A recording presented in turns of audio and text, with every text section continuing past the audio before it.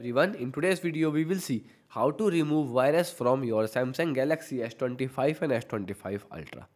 To remove the virus, you can simply firstly open the settings. Then after go to security and privacy or you can go to device care. Both the steps are same. Okay.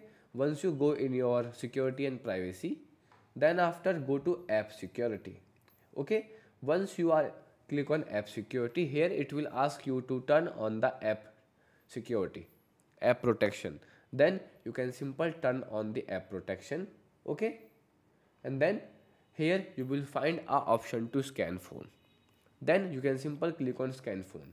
Now it will scanning the phone completely. It will checking all the application okay? And then finding the virus.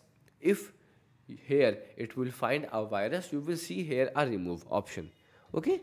So the scanning may take some time it depends upon your app size app data okay? And now the scanning is completed and in my case there is a no thread found okay?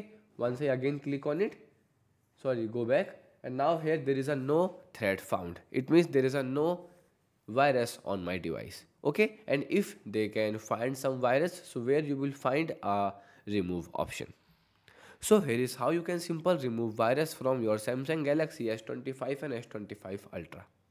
Goodbye.